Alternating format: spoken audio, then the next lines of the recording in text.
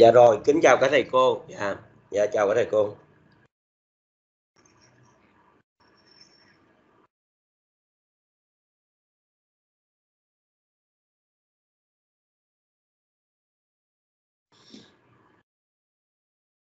Rồi, xin phép mọi người. Ok. Mọi người ơi, mọi người thấy chưa? Ta vào Dạ. luôn nha. Dạ thấy rồi. dạ dạ dạ dạ. Dạ dạ ừ rồi họp xong rồi đó. Trời ơi quá trời. Tại vì là mọi người nghe nghe rồi đó là chuẩn chuẩn bị rồi. Và cũng báo với mọi người luôn là mọi người chờ nha. Vì đó, bây giờ mình có thời gian ôn tập là nhiều lắm đó. Cố gắng ôn tập cho nhiều nha. Cái cái một cái thầy cô và các anh chị sẽ được nhận cái thông báo của phòng sau đại học. Cuộc thi của mình phải dời rồi. Thì sẽ chờ đến thông báo mới nha.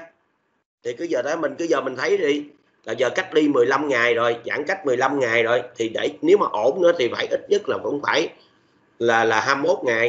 21 ngày xong rồi đó bây giờ mọi người thấy đi đó. Thì nôm nôm chắc không phải cuối tháng. Ok có thời gian ôn cho kỹ vô nha. Rồi thôi nhìn cái file cho mình đi. Mình làm cho thêm cho mọi người ba- 30 cái câu này để mọi người có thấy đó là những cái điểm ngữ pháp ha. Thì à, nó là đây là cái phần của nhận định lỗi sai nè.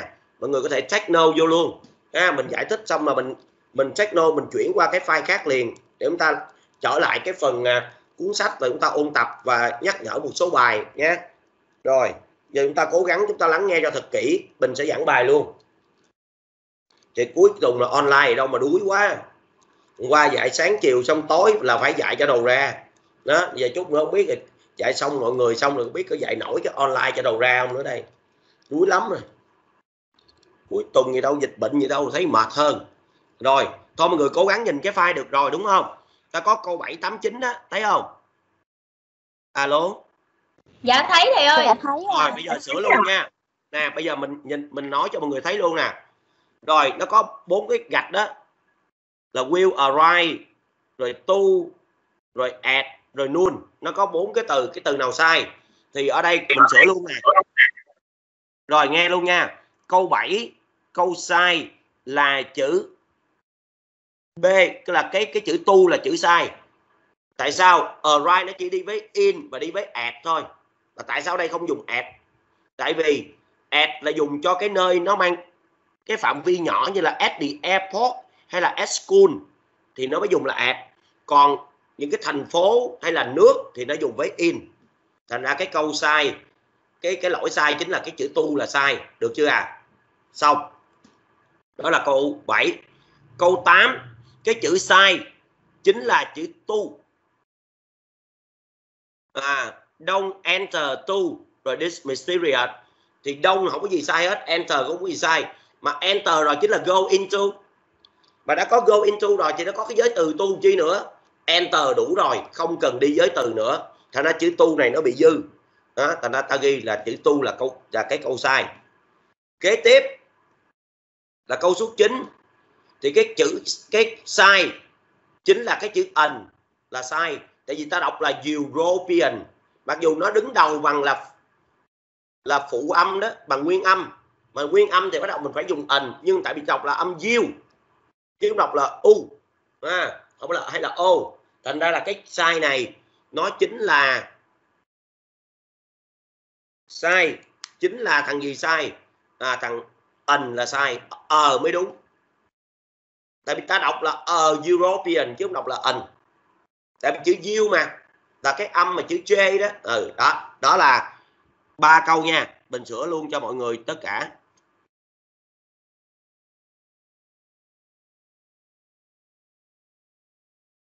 Rồi, cũng tiếp tục. Như vậy. Rồi thì ở câu 7 cho cái phần thứ hai, thì mọi người thấy là my brother, rồi my nè, y, rồi three year, rồi elder, rồi dan me. Thì cái chữ sai chính là chữ elder sai. Tại sao vậy? Tại vì cái chữ đúng ôn thì so sánh hơn của nó là older hoặc là elder. Nhưng cái chữ elder đó chỉ dùng cái thứ bậc trong gia đình thôi. Dù mình nói là elder sister hay là elder brother thì được. Nhưng mà nói về tuổi tác, cái thứ bậc gia đình thì dùng chữ elder được. Nhưng đối với tuổi lớn hơn thì phải dùng là older. Thật ra câu sai chính là chữ elder nha, là chữ C đó. Là sai. Rồi, câu 8 thì là the weather were nè, rồi set nè, cold that nè, we didn't go out.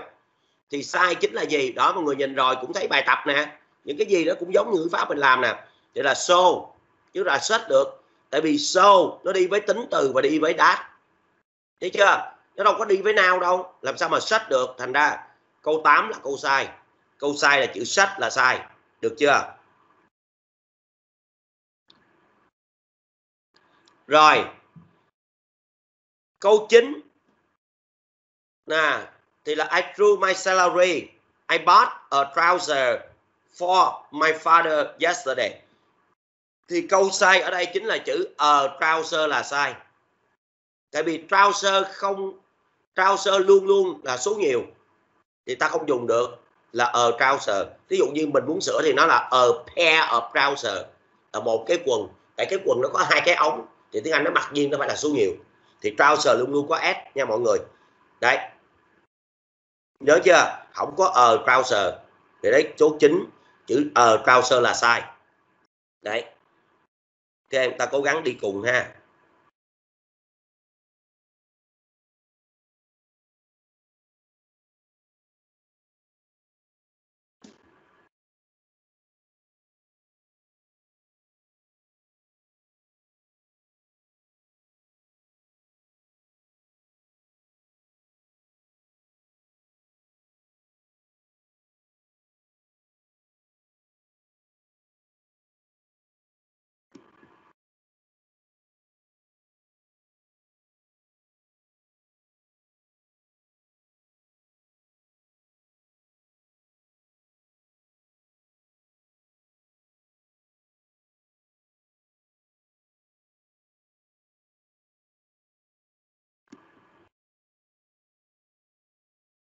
Ừ?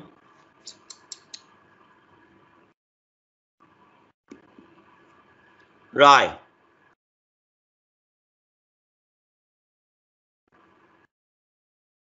Bây giờ đến câu câu, cũng câu 7 kế tiếp là the woman rồi cross the road, rồi when the light turn red. Thì lúc này cái chữ nào sai? Tại vì ở đây nếu mà ta chia cái câu sai chính là chữ A chỉ là crosses ở đây không thể là hiện tại đơn được mà phải là quá khứ đơn. Tại vì ở đây đâu có nói cái việc là đây là cái thói quen đâu đâu có việc lặp lại đi lặp lại đâu. Đúng chưa? Thành ra ta phải dùng một cái logic câu nói không? thì là quen đúng rồi. Rồi the light turn, turn red là phải là quá khứ rồi logic nó là quá khứ. Tại, tại vì nó không có cái gì ở cho mình hiện tại hết. Thật ra câu sai chính là câu A nha mọi người. Rồi đến câu 8 nè. Là I am used to swim in a river when I was young. Rồi, để thấy cái thói quen trong quá khứ nè. Thì là, thì cái thằng mà am used to là câu sai. Tại sao sai? Tại vì nó chỉ cần cái thói quen trong quá khứ thôi, thì làm gì có động từ to be ở đây? Ai đi liền với used to là đúng. Thấy chưa? Thành ra chữ, cái cái cái phần sai chính là am used to, được chưa? Rồi.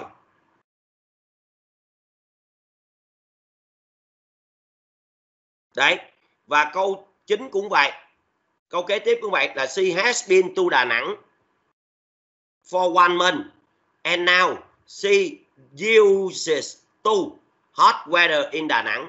Vì đấy, cái câu này là cái chữ uses to là sai liền, không có dùng được. Mà phải là CE yield to đó, lúc này phải dùng là to be to be used to đó là be used to cộng với now đó.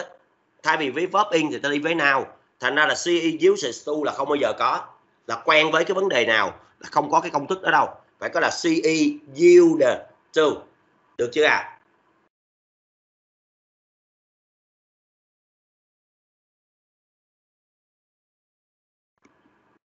rồi. Kế tiếp luôn. Đó, ta nhìn thấy câu 7 thì là her son was aggressive with the police last night because of fighting. Thì because of fighting là đúng rồi. Sau because of? Ta dùng verb in hay là now là đúng rồi. Thấy không? My her son was arrested cũng đúng luôn. Tại vì last night rồi thì là quá khứ, chứ ở passive voice thì chữ sai chính là chữ with. Tại sao vậy? Passive voice mà, làm sao mà with được? Mà là by. Buy nha mọi người nha. Buy the police được chưa? Rồi.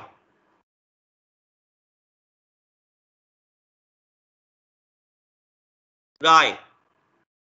Câu kế tiếp là two prisoners were hanged this morning by Taliban.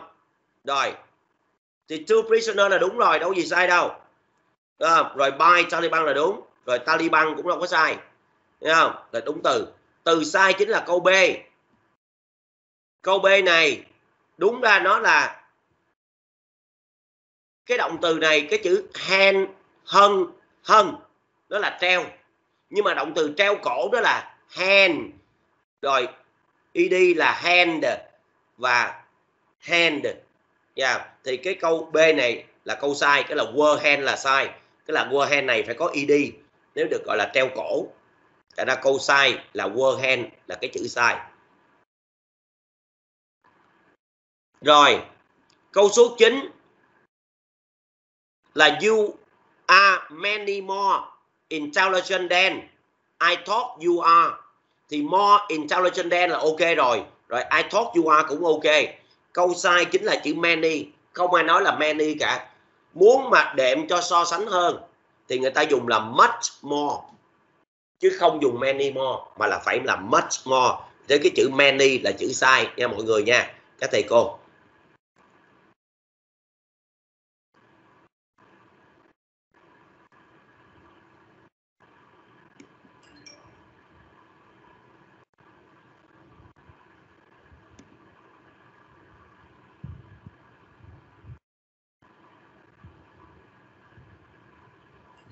Rồi.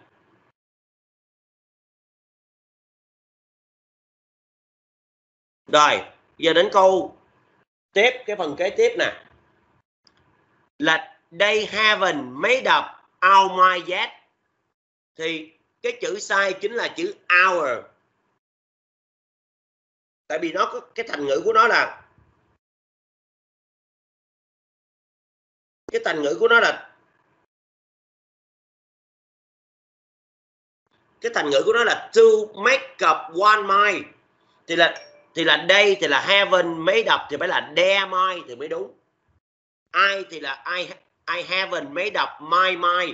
Đó, ví dụ vậy. Nó phải đi đúng luôn. Đây thì phải là there. We thì phải là out mới đúng. Thành ra cái câu sai chính là chữ out. Nha. Rồi.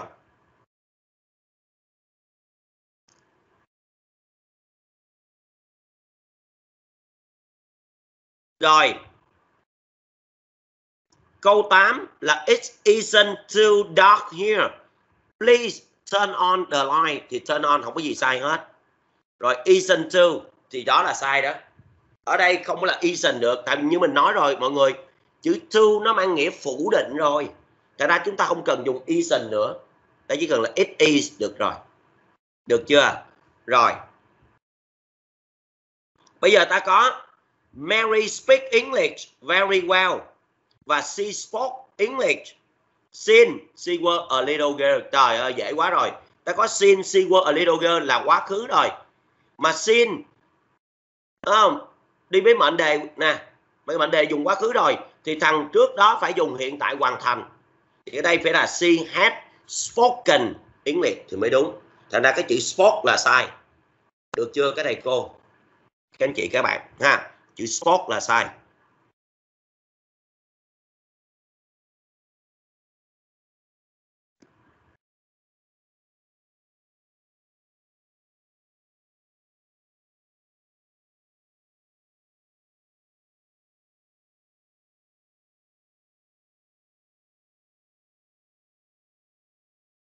Rồi.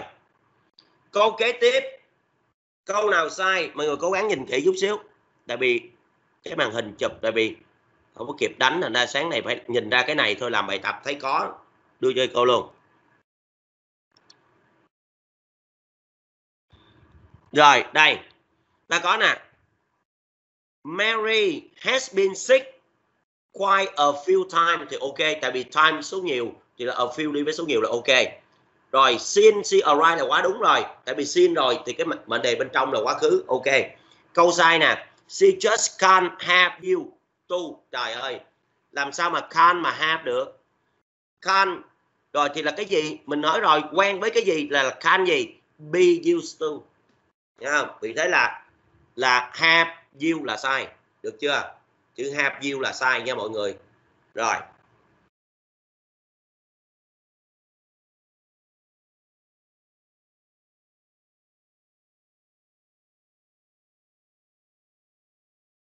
Rồi, câu số 8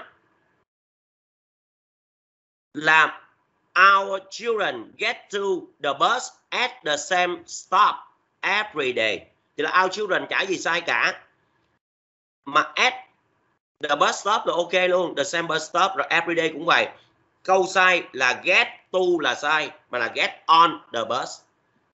Lên xe là xe chỉ có lên lên xe đò xe bis, xe lửa là get on và get off. Get off là có hai chữ f đó chỉ có lên xe hơi thôi là get into và get out of thôi. Còn ngoài ra là tất cả đều get on và get off hết. Thành ra get to là sai nha mọi người. Rồi. Chính là anybody ought to learn what to cook không có được. What không đi với to infinity. Cái, cái từ dễ nhất mà đi là chính là how đi với to infinity. Làm cái đó như thế nào? Tại vì what rồi là làm gì nữa? What rồi thì là tu cúc sao được? Cho nên là đúng không à tại vì ought to là đi đúng rồi. Ought to đi với động từ nguyên mẫu.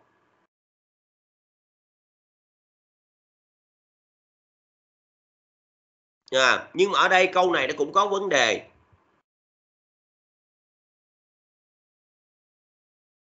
Ở đây mà anybody mà ought to lên how to cook thì được.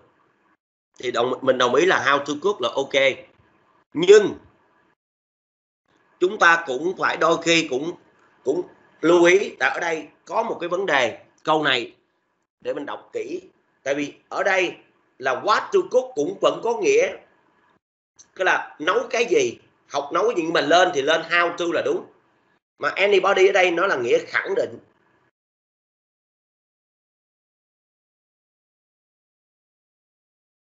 Nó là câu khẳng định nha mọi người. Nó là dùng trong câu khẳng định. Any thì dùng trong câu khẳng định để làm gì? Để nhấn mạnh về nghĩa. Nó có cái đó lạ đó, là nó nhấn mạnh về nghĩa.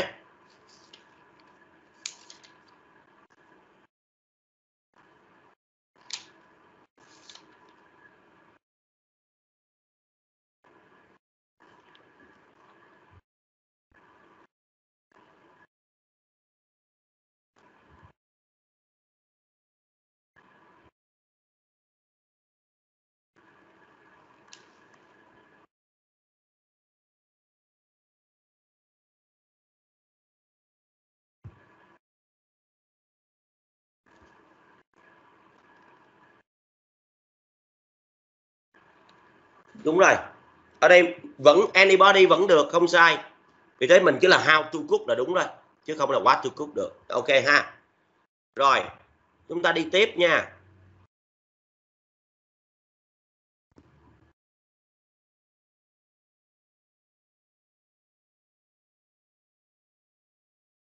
Rồi.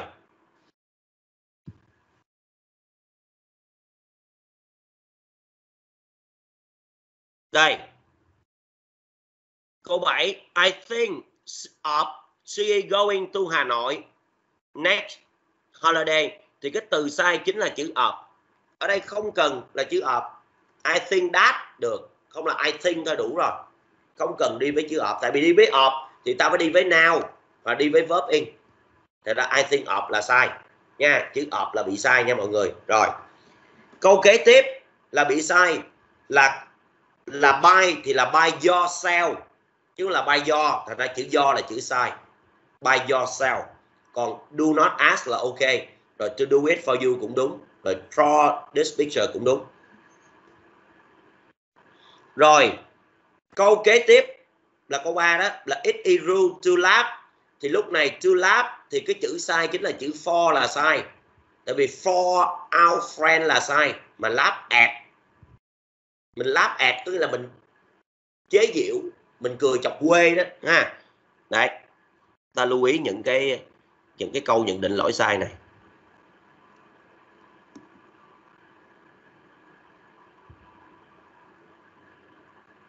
Rồi, câu 7 nè. Chúng ta dựa vào những cái điểm ngữ pháp thôi, giống như ta ôn đó, là where could he swim and sunbathe if he were in London. Đấy đúng ra câu này về mặt ngữ pháp mới nó không có gì sai đó. Trong văn nói nó không có gì sai hết. Nhưng câu này ta nói giờ nó kiếm lỗi sai thì cái chữ words là sai. Tại vì ở mệnh đề if mà trái với sự thật hiện tại là dạng hai đó mọi người, thì ta dùng là were là he were là w e r e là đúng nha. Rồi. Đấy, câu 8 thì cái chữ sai đó như qua mình học rồi we decided not to go out. Không có vấn đề gì hết. Decide to go là not to go là ok.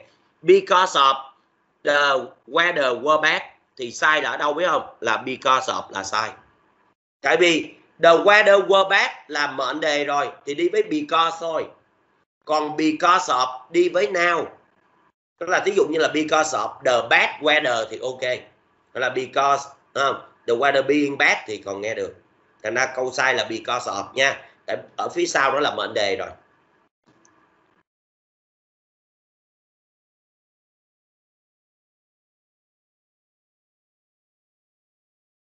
Rồi bây giờ đến câu 9 là no example are relevant. Rồi with this case. Thì ở đây mọi người ta thấy no rồi. Rồi rồi uh, example. Thì đôi khi có một số thầy cô số anh chị nghĩ rằng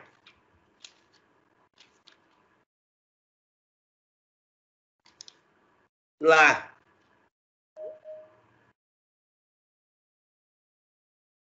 một số anh chị nghĩ rằng đã no rồi là số ít, đúng không à thí dụ vậy, không phải. Ngay cả cái chữ example, đúng không? Có một người lập luận như vậy nè. Ủa, chữ example mà. Đúng chưa?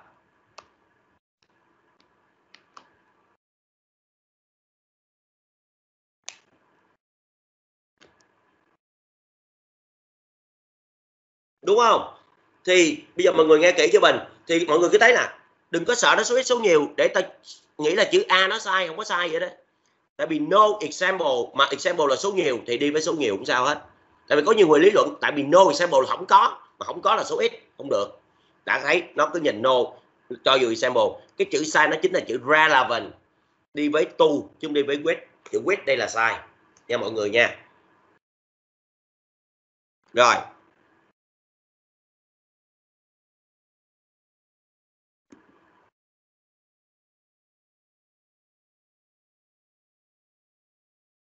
Rồi, kế tiếp là we like to have a swim under the rain. Thì cái từ sai tại vì trong tiếng Anh nó không có đi với chữ under the rain mà là in the rain. Under là sai mà là in. Giống như mình nói là mình đi bơi, sorry mình mình ra mình đi biển rồi mình mình ngồi dưới ánh nắng mặt trời thì là in the sun chứ không phải là under the sun nha mọi người nha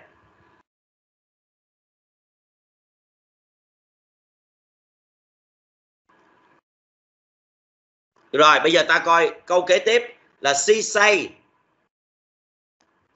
Đúng không? Rồi si gì?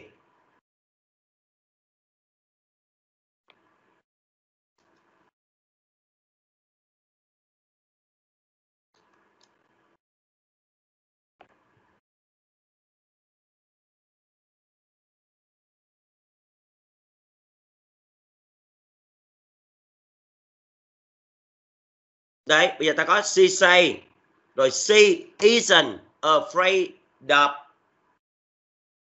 Thì đúng ra, cái câu này nó có vấn đề. Tại vì she say, mà she isn't vẫn được. Không có không có gì sai cả. Mà afraid of là ok. Tại vì sao? Cái động từ tường thuật này nè, nó ở hiện tại. Thành ra ở đây mà chúng ta dùng isn't là ta không có lùi thì là đúng. Thành ra cái câu này ta bỏ qua đi nha mọi người. Câu này nó có vấn đề, nó bị sai về lỗi chính tả.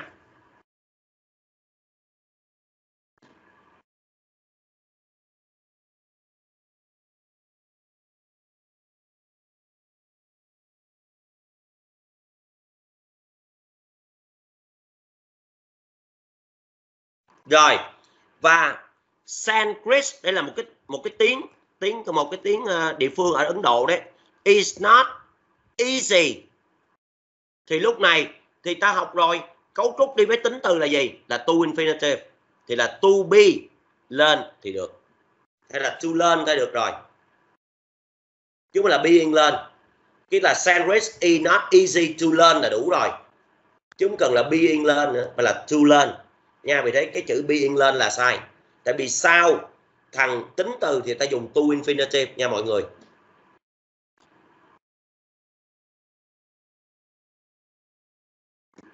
Rồi.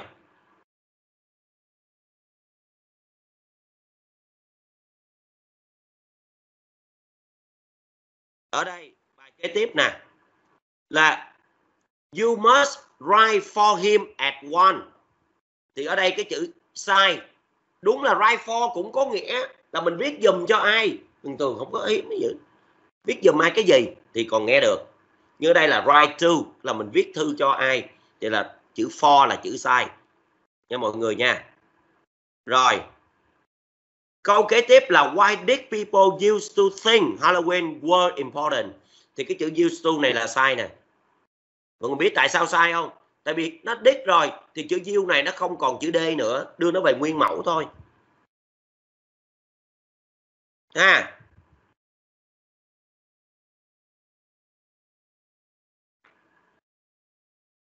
Và câu cuối cùng là at the end, we reach the city. We reach là đủ rồi.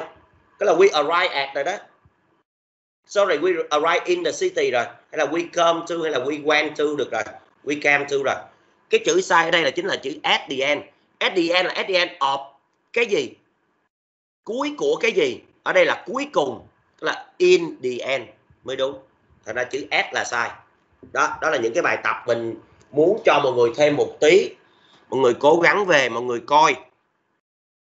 Để mà chúng ta có thể có cái bài tập về à, đó, mọi người thấy ha. Đó, bài tập của chúng ta về à, nhận định lỗi sai đó đó là những cái là bài tập như vậy. Ok nha, mình đã gửi trên file cho mọi người luôn rồi.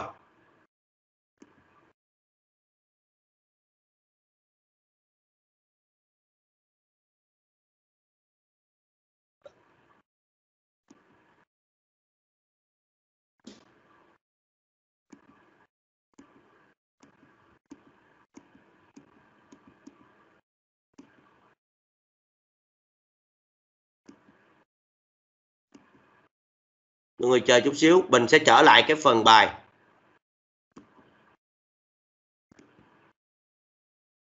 Của chúng ta.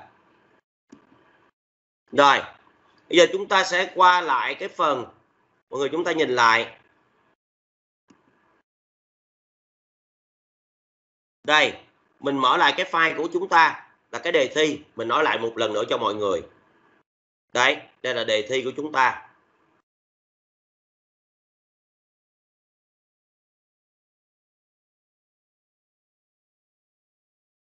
Rồi, mọi người nghe kỹ nha. Thi là chúng ta, đó, cái đề nó sẽ giống vậy nè. Và chúng ta sẽ thi, chúng ta làm bài trên tờ giấy thi luôn, đó. Ví dụ chọn cái gì thì đánh vô, ví dụ câu 1 chọn là chữ surprise, thì ta đánh, ta ghi chữ B vô cho bình thôi là xong. Không có ghi chữ surprise mà ghi chữ B. Chọn gì ghi cái chữ đó vô là xong, nha. Thì đó, đề thi của mình nó có 80 câu và nó có mỗi lần nó có đầy đủ hết đó nè Đề thi gồm 80 câu từ câu 1 đến 80 dành cho tất cả các thí sinh. Rồi thì phần 1 là ngữ pháp và đọc 60 điểm. Nó có 60 câu được chia như sau. Mình nói lại một lần nữa.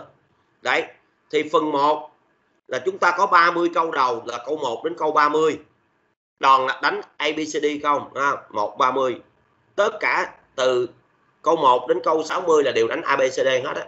Nó theo cái dạng đó hết chứ không có không có chia thì, đó, nó chia thì nó bắt mình đưa vô đó, đúng không à? Đấy, như mấy cái phần ngoài đài này đó, nó vô vậy. Chia thì nè không? gắn vô. Đấy. Đấy, gắn vô làm sao nè? Thì lúc này mình đã làm rồi, sửa bài cái này rồi, cho mọi người rồi. Mọi người có thể coi là cái phần ghi âm để mình sửa, ha? Thì đó, rồi, thì mình nhắc lại nè. Từ câu 1 đến câu 30 là nó test mình về những cái chủ điểm ngữ pháp mình đã học đó. Đúng không? Cách dùng thì nè Đúng không? Những cái mệnh đề chỉ sự liên hệ hu hâm quyết nè. Thấy không? Mệnh đề if nè.